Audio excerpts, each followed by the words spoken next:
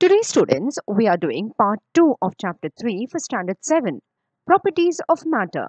So, come along, let's continue the lesson. This video was made just for you. Do remember to like, share, and subscribe. Try this activity. Take ice cubes in a glass up to 3 fourths of its height and now observe what happens. What do you see? After some time, you will find little drops of water forming on the outside.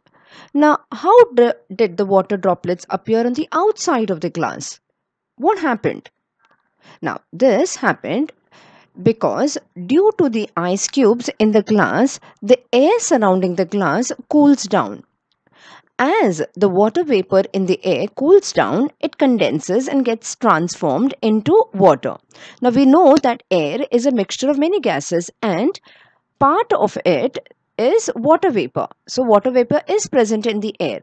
So, this water vapor, which is in the gaseous state, cools down the water vapor that is present around the glass cools down and it condenses and it changes to the, its liquid state and gets transformed into water and this water gets collected on the edge of the glass from outside so it is this water that collects on the outer side surface of the glass. The level of humidity is different in different places. Humidity means the amount of water vapor that is present in the air. So it is different at different places. Also, the humidity levels change from time to time during the period of a single day also. So the level of humidity could be different early in the morning. It could be different in the afternoon. It could be different in the evening. So the level of humidity does not remain the same. That is the amount of water vapor that is present in the air is not the same but keeps on changing from time to time. You must have seen dewdrops on blades of grass or even on the surfaces of cars. So from where did these drops of water come. So, the level of humidity of the air is determined by its capacity to hold water vapor. That is, how much water vapor can the air hold. So, during the night or at dawn, that is early in the morning, when the temperature of the air is low, its capacity to hold the vapor is less.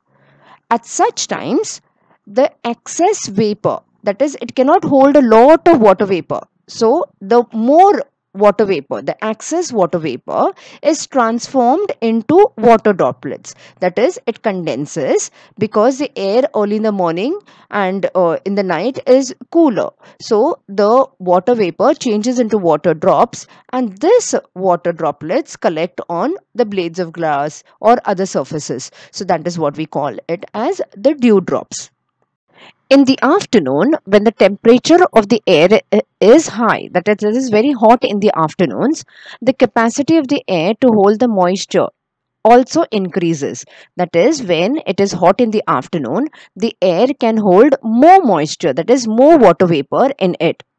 Then, compared to its full capacity to hold water, the proportion of moisture in the air is less and we feel that the air is dry. The proportion of water vapor in the air is high during the monsoon season and in the coastal areas. So during the monsoon season, air can hold a lot of uh, moisture, that is water vapor. And we find this in the coastal areas, that is areas that are very close to the seaside. So as a result, these areas in these areas we feel dampness or humidity during the monsoon season or uh, areas which are very very close to the sea. Those are the coastal areas. Now use your brain power. In summer wet clothes dry quickly but in rains they do not. Why do you think this happens? So think about it. And to check your answers, you can visit our website at www.jkacademypro.com now try these two activities. Dip an uncorked inverted empty bottle. Uncorked means an open bottle and it should be inverted in a slanting position in the water in a white container. Now what will you observe? You will see that the water uh, slowly enters the bottle and there are air bubbles that come out of the bottle. Now try the second activity. What change takes place in a balloon on filling air in it? First, the balloon is very small, isn't it? When it is not inflated, that is, when there is no air in it. But as soon as you blow air into it, the balloon becomes bigger, isn't it? So that means air has gone inside and therefore the balloon has become bigger and bigger. Now let's understand why these things happen. Now we come to know from the activities above that air has properties like occupying space. So that is why the air that was present in the empty bottle came out in the form of air bubbles and water entered into it. And in the second one, we know, we come to know that air also has volume. And we earlier we saw in the experiment that air has mass and weight. Now we all know that our earth is surrounded by an envelope of air. Now this air is a mixture of very fine particles of some gases, dust, smoke and moisture. So when the rays of light, that is the sun rays, fall on these minute particles, this particle spread the light in all directions.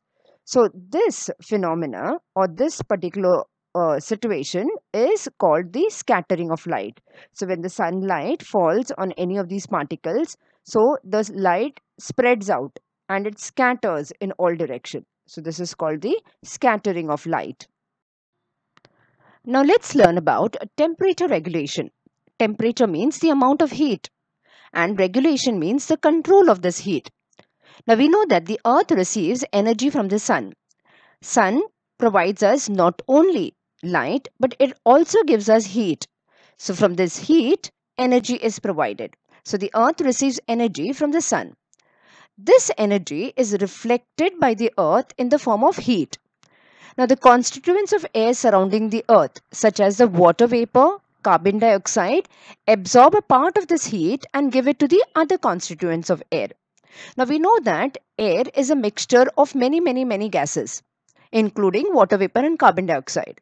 So when the sun gives out light and heat, water vapor and carbon dioxide absorb this heat, okay, and they transfer it to the other constituents of air, the, that is the other gases present in the air. So because of this, so as a result, the earth's surface remains warm and thereby becomes suitable for living world on the earth. So it is warm, not very hot, not very cold. So this temperature helps living things to live on the earth. Now if there were no air on the earth, what would happen?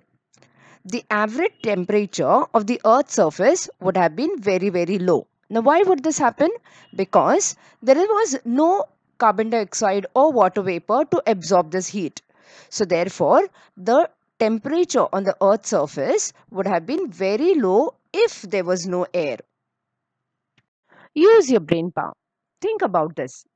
What would happen if all the air surrounding us is removed, taken off? And will sound be heard in space? Find the answers. And to check your answers, you can visit our website at www.jkacademypro.com. You'll get the link in the description box below. Transmission of sound. Now, what is transmission of sound? Is transfer of the sound from one to the other. Now, we hear so many different kinds of sounds right from the time we wake up to the time we go off to sleep. Now, all the sounds that we hear reach us through the surrounding air. So, air helps us for the transmission of sound and that is how we are able to hear. Now, the density of air also changes due to the change in temperature. We have we know if the temperature is cooler, it the air is more dense and if it is hot, air air is less dense. In winter, the density of air increases. That is, in winter it is cool. So, therefore, the density of air is more. So, therefore, we can hear the whistle of a distant train clearly early in the morning in winter. Okay, since the air is more dense, it is much clearer to hear the sound.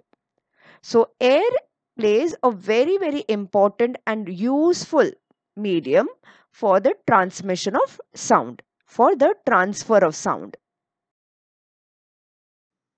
Do solve the questions given in the textbook And to check your answers, please visit www.jkacademypro.com. The link is in the description box below. This was end of part 2. For a complete lesson, do watch all the other parts.